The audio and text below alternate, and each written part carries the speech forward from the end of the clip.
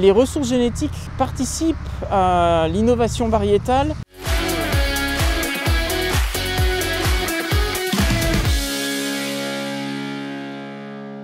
C'est quoi un centre de ressources biologiques? C'est un lieu où est conservée la diversité génétique d'une espèce euh, ou de plusieurs espèces. Ce centre, il est surtout en fait un conservatoire de la biodiversité et il participe effectivement activement donc à, l'utilisation de cette diversité. Conserver, c'est préserver?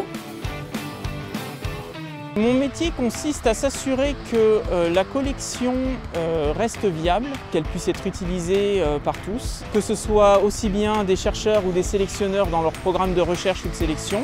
Ça peut aussi être des agriculteurs ou des particuliers qui sont désireux de retrouver des accessions qui étaient cultivées autrefois par leurs parents ou leurs grands-parents. Les ressources génétiques renferment certainement des réponses aux défis de demain qui vont être donc la résistance au stress thermique, la résistance aux maladies. Je suis heureux de participer au maintien de cette diversité, mais on travaille aussi avec euh, ben, tout un chacun, c'est-à-dire des particuliers ou des agriculteurs qui veulent euh, redécouvrir euh, la diversité avec des accessions de leur terroir. Et donc en ça, ce métier est passionnant puisqu'on parle à une multitude d'acteurs et surtout de pouvoir partager euh, cette diversité avec divers acteurs, aussi bien des chercheurs et des sélectionneurs qui veulent euh, redécouvrir euh, la diversité avec des accessions de leur terroir,